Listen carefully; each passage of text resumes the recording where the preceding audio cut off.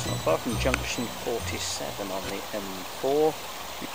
Lovely woodland stream and then a bank of flowers. And the flower that I'm looking at is the white one here.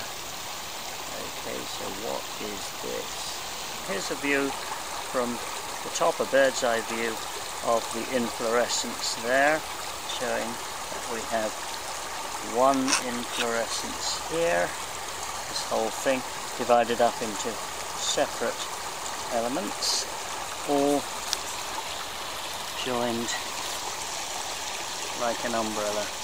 And this should give you the family.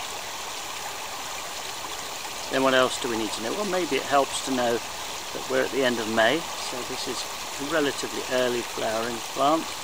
Uh, if you look at the base of the umbrella, i.e.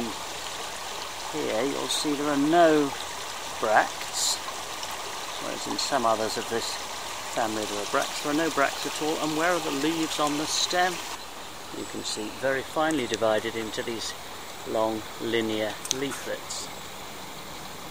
So the base of the leaf, the petiole, um, actually wraps uh, around the stem, so we get this sheathing base. So finally, if you dig down to the roots, then you'll find at the base there is a swollen root. It's a little tuber. And these actually, these little nuts, are much prized by pigs. There's a clue. Let's clean it up.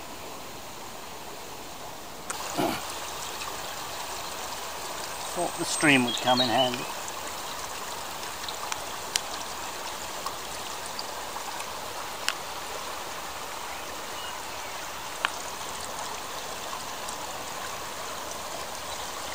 So there it is, the little nut. And Mmm. Mmm. Delicious. It's actually even even better than hazelnuts. No wonder the pigs love them.